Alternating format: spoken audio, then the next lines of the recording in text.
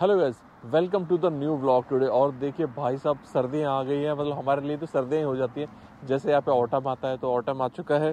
Jacket वगैरह निकल गई और और लकीली आज बहुत फाइनेस्ट डे है, आज बहुत अच्छी धूप निकली है तो सोचा क्यों ना आज बाहर जाके रिकॉर्डिंग की जाए।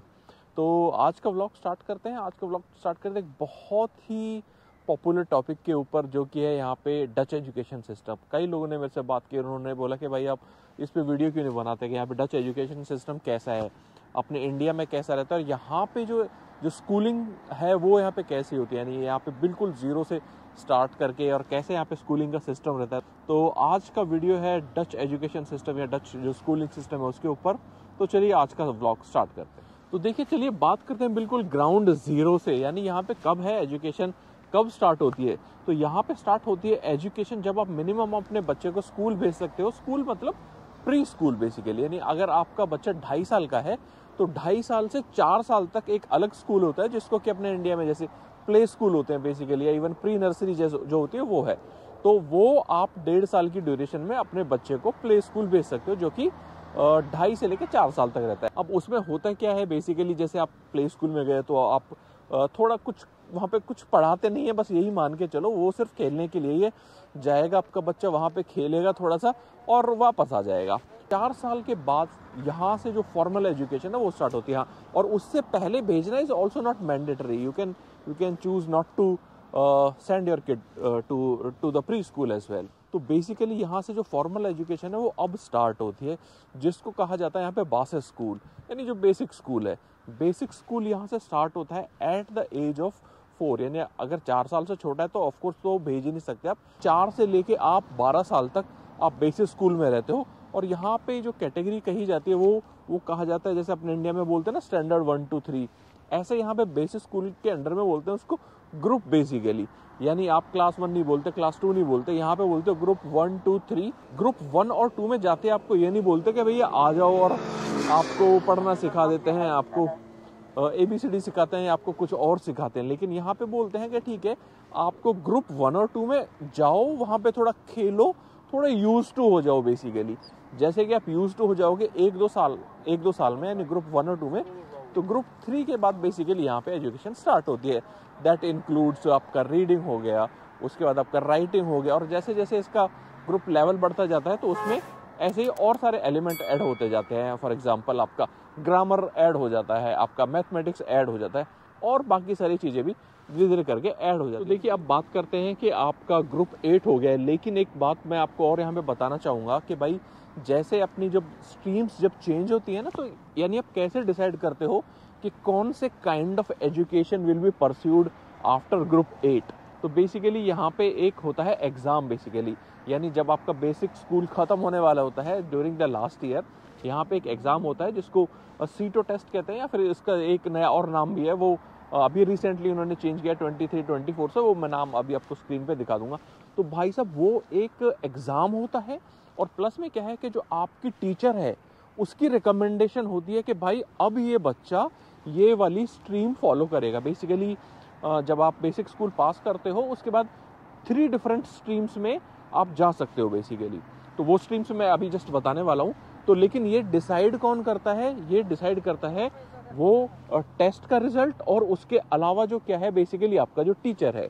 तो चलिए बात करते हैं बेसिक स्कूल के बाद की। तो बेसिक स्कूल के बाद है उसको यहाँ पे कहते हैं हाई स्कूल बेसिकली तो high school can be of different types it is very different from Indian education system तो आप जरा आप ध्यान से सुनिए। तो जैसे ही अब आपका बेसिक स्कूल खत्म हुआ तो उसके बाद आपके पास जो नंबर एक ऑप्शन होती है, नंबर एक ऑप्शन वो होती है V W O V W O होता है बेसिकली काइंड ऑफ़ आपका मोर थ्योरी बेस्ड एग्ज़ाम से, या फिर मोर थ्योरी बेस्ड आपका जो एजुकेशन पैटर्न है। और ये मतलब कहा जाता है कि सबसे डिफ़िकल्ट काइंड ऑफ़ एजुकेशन है in entire high school education system और जिसका ड्यूरेशन है भाई साहब छः साल। यानी छः साल तक आप वी की पढ़ाई करते हो, उसमें भी फिर अंदर अंदर लेवल होते हैं। बट आप रफली मान के चलो कि आप ग्रुप एट तक तो बेसिक स्कूल में थे, उसके बाद आपको छः साल और लगेंगे वी करने में। V will lead to W W kind of आपका जो रिसर्च बेस्ड बैचलर्स डिग्री है। सो रिसर्च रिसर्च बेस्ड जो आपको डिग्री है, वो मिलेगी, और उसके बाद आप जा सकते हो उसी स्ट्रीम में पोस्ट ग्रेजुएशन के लिए बेसिकली तो that is the first category V W W में होता है कि आपका अंदर जाके उसमें दो स्ट्रीम होती हैं। एक होता है जिमनेशियम यानी जिसमें आपको लैटिन और ग्रीक वगैरह लेनी पड़ती है। और एक और उसकी category I think athenaeum something like that मैं अभी आपको स्क्रीन पे दिखा दूँगा। तो उसके अंदर दो कैटेगरीज है। बहुत कम डिफरेंस है। आई थिंक दोनों में शायद लैटिन और ग्रीक का डिफरेंस है। एडिशनली आपको वो लेनी पड़ती है। But that is something that that falls under V W तो अब आते हैं सेकंड जो काइंड ऑफ़ एजुकेशन है वो सेकंड काइंड ऑफ़ स्ट्रीम है जो आपका बेसिक स्कूल के बाद है, जिसको कहा जाता है हावो। तो इसमें बेसिकली आपको क्या प्रिपेयर किया जाता है?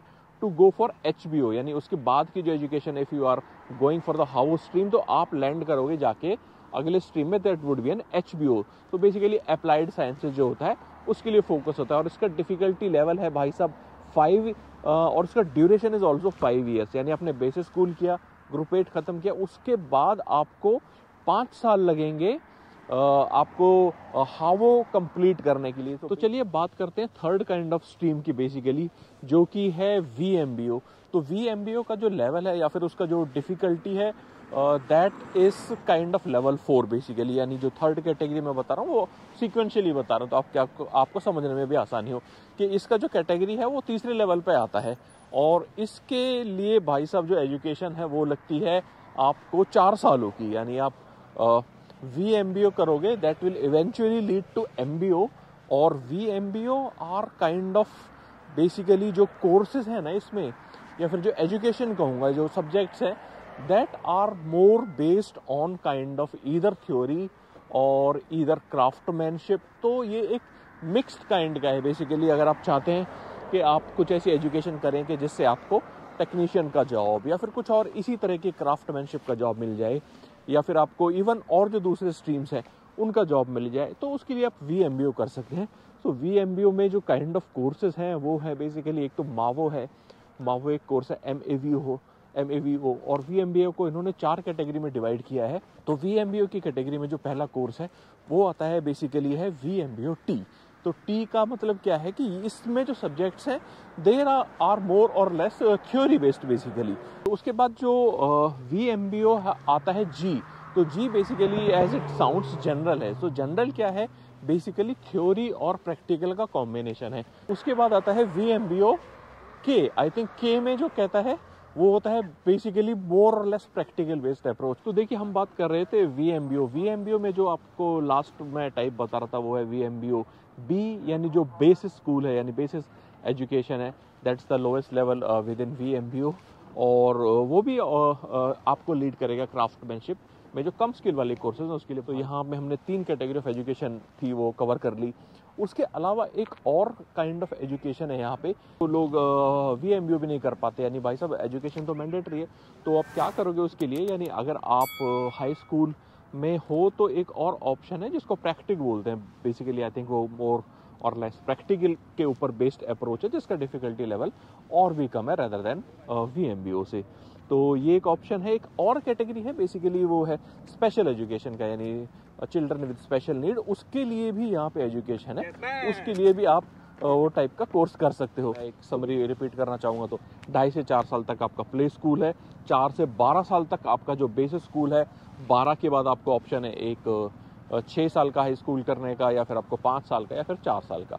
तो बेसिक इससे कम नहीं है। तो ये काइंड ऑफ़ आपका एजुकेशन सिस्टम है स्कूल लेवल का। तो ये एक बेसिकली मोटे मोटे तौर पे ये एजुकेशन है जो कि स्कूलिंग से रिलेटेड है। uh, मैं आपको कॉलेज यूनिवर्सिटीज में इंक्लूड नहीं कर रहा हूँ। Maybe if you if you want I can make a video on that as well कि यहाँ पे कॉलेज में एजुकेशन कह सकता है बेसिकली आप डब्ल्यू uh, करते हो तो आपको क्या पढ़ाया जाता है? यानी आप एचबीओ करते हो तो आपको क्या पढ़ाया जाता है? आप कुछ यहाँ पे एक जनरल बातें मैं बताता हूँ जो जो कि आपको शायद काफ़ी इंटरेस्टिंग लगे रिगार्डिंग द स्कूलिंग तो सबसे पहली बात यह है कि जैसे मैंने बताया कि भाई साहब यहाँ पे आपको सरप्राइज़ होगा कि यहाँ पे कोई ड्रेस नहीं है स्कूल में।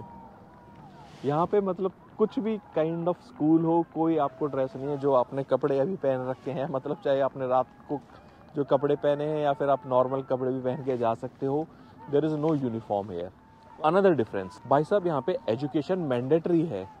यानी अगर आपका बच्चा 16 साल तक का जब तक नहीं होता, आपको उसको पढ़ाना ही पड़ेगा झक मार के। यू हैव नो रीज़न आप बोलो कि भैया, मेरी इनकम कम है या कुछ और रीज़न है तो there is municipality which will support you for your living hood आपको खाने पीने की दिक्कत है, उसमें आपको सपोर्ट करेंगे। लेकिन एजुकेशन में there is no compromise at all भाई साहब, वो आपको एजुकेशन देनी देनी पड़ेगी 16 साल तक, यानी till 16 years education is mandatory उसके बाद आप ना पढ़ना चाहो तो अलग बात है जॉब करना चाहो तो उसके बाद आप डायरेक्ट जॉब कर सकते हो। और एक एक बात और है कि भाई यहाँ पे जो जैसे लोग हैं, वो जनरल कौन से स्कूल में पढ़ाते हैं या फिर यहाँ पे कौन से स्कूल के टाइप होते हैं बेसिकली तो ऑफकोर्स जैसे कि सब जगह होता है, यहाँ पे स्कूल के टाइप भी दो हैं, एक है गवर्नमेंट एक है प्राइवेट स्कूल गवर्नमेंट बेसिकली मैं बोलूँगा जो डच स्कूल है बेसिकली डच स्कूल है मोस्टली यहाँ पे स्कूल्स है वो डच स्कूल ही हैं।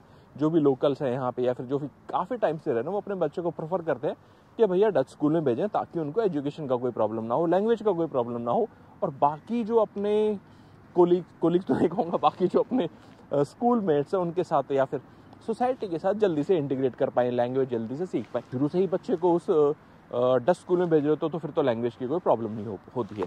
लेकिन अगर आप आए हो, बाहर से एक्सपर्ट हो और आप यहाँ पे आ, आके रहने लग गए फॉर फ्यू ईयर्स और आप चाहते हो डच स्कूल में अपने बच्चे को पढ़ाना तो बेसिकली यहाँ पे कॉन्सेप्ट है टाल स्कूल का। बेसिकली आपके बच्चे को डच आनी चाहिए अगर आप डच स्कूल में पढ़ाना चाहते हो।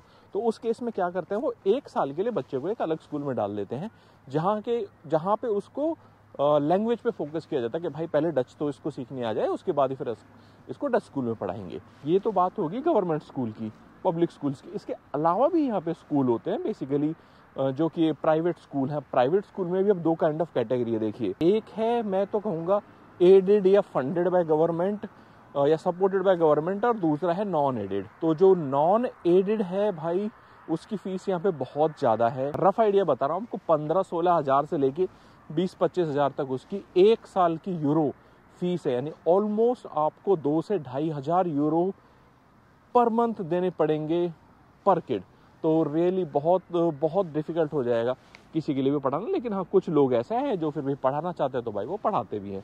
दूसरा है यहाँ पे कि जो इंटरनेशनल स्कूल्स हैं, जैसे ए आई हो गया कुछ और हो गया, उसमें क्या है कि गवर्नमेंट फंडेड है वो बेसिकली गवर्नमेंट उनको थोड़ा सा एड देता है तो उसकी फ़ीस रफली आती है साढ़े चार से साढ़े पाँच या छः हज़ार मतलब रफली पाँच सौ पाँच सौ छः सौ यूरो पर मंथ के हिसाब से उसमें आपको एआईसीएस वगैरह टाइप के स्कूल कवर होते हैं। लेकिन mostly 90 percent ninety five percent जनता यहाँ पे जो लोकल है वो आपको भाई सब बिंदास डच स्कूल में पढ़ाती है, जिसकी ज़ीरो फ़ीस है। कोई फ़ीस नहीं है और क्वालिटी ऑफ़ एजुकेशन में एब्सोल्युटली नो कॉम्प्रोमाइज कुछ मतलब डिफरेंस नहीं है बेसिकली दोनों काइंड ऑफ़ स्कूल जैसे बेसिक स्कूल में तो कुछ इंटरेस्टिंग बातें भी हैं उसके ऊपर। यानी बेसिक स्कूल में आपको मतलब कैन यू बिलीव कि कुछ बहुत बेसिक एलिमेंट सिखाए जाते हैं जो कि मतलब बहुत अच्छा भी है बेसिकली आप अपना खाना कैसे खुद खाते हो? अपना अपना जो कोट है जैकेट है, कैसे हैंग करते हो? You should wear your own shoes उनको आप प्रॉपर रखो। तो बच्चों को शुरू के जो ग्रुप ग्रुप्स हैं, उनमें कुछ ये बातें सिखाई जाती है। और भाई साहब